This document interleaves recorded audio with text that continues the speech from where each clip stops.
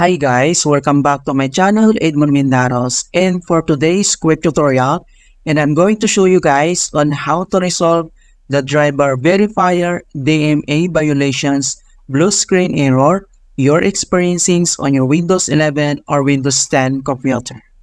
Okay, kung paano ba natin ito i-fix? And without further ado, and let's go ahead. So all you have to do is to open up on search menu And then dito ay kailangan mo na type yung uh, verifier.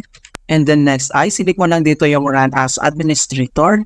So dito sa driver verifier manager, ang next step ay kailangan lang natin i-select dito yung task na delete existing settings. So i-click mo lang yan. And then click mo lang tong finish.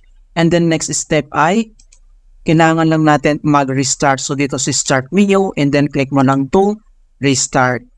Okay, so if the error still persists, do this another solutions.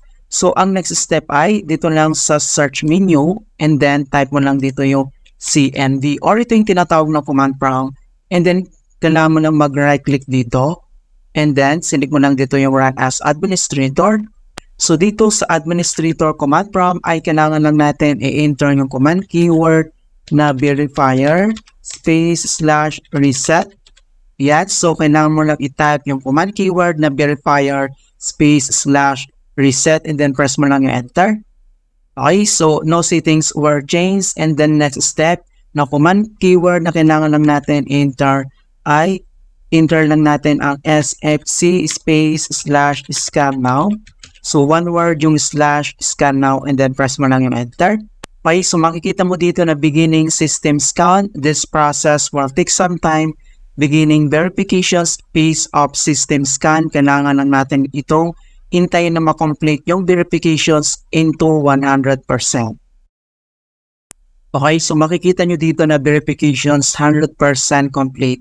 And then next step ay close lang natin itong uh, CMD. And then dito lang si start menu at kailangan ulit natin mag-restart. Okay, so click mo lang ito. Alright, so ganoon lang po kasimple kung paano natin i-fix ang the driver verifier DMA violations BSOD error in Windows 11 or Windows 10.